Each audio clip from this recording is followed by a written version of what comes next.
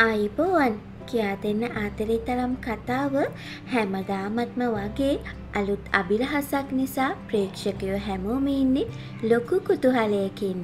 තවමත් ජීවත් වෙලා ඉන්න සමන්දනී රිදී මහලි ඇත්තගේ පෙම්වතා ආයුෂ් ඒ කියන්නේ මිනායගේ තාත්තා. හිතාගෙන ඉන්නේ සමන්දනී මිය ගිහින් කියලා.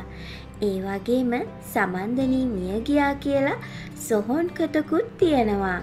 මේ අභිරහස මොකක්ද? ඒ ගැන තමයි මම අද කියන්නේ. ඔයාල දන්නවනේ ආයුෂ්ගේ තාත්තා කලින් හිටපු හොඳම හොඳ සල්ලිකාරයෙක්.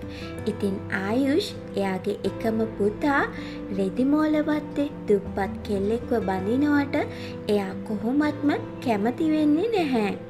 ආයුෂ්ගේ තාත්තා මුල ඉඳලම කැමැත්තෙන් හිටියේ රොඩ්නි රන්දනිය එයාගේ හොඳම යාළුවගේ සල්ලිකාරදුව ස්නේහට ආයුෂ්ව බන්ධන්න.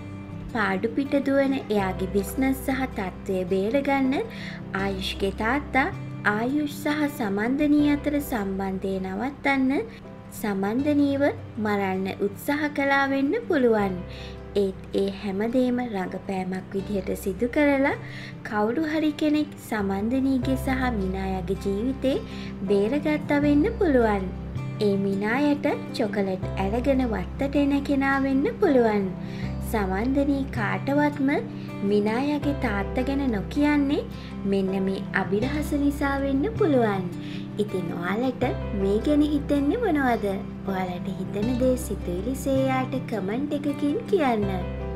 ඉතින් ඔයා තවමත් සිතුවිලි සේයාගේ යාළුවෙක් වෙලා නැත්නම් ඉක්මනින්ම පහල තියෙන සබස්ක්‍රයිබ් බටන් එක ඔබලා සිතුවිලි සේයාගේ යාළුවෙක් වෙන්න. ඔයාලා හැමෝටම සුබ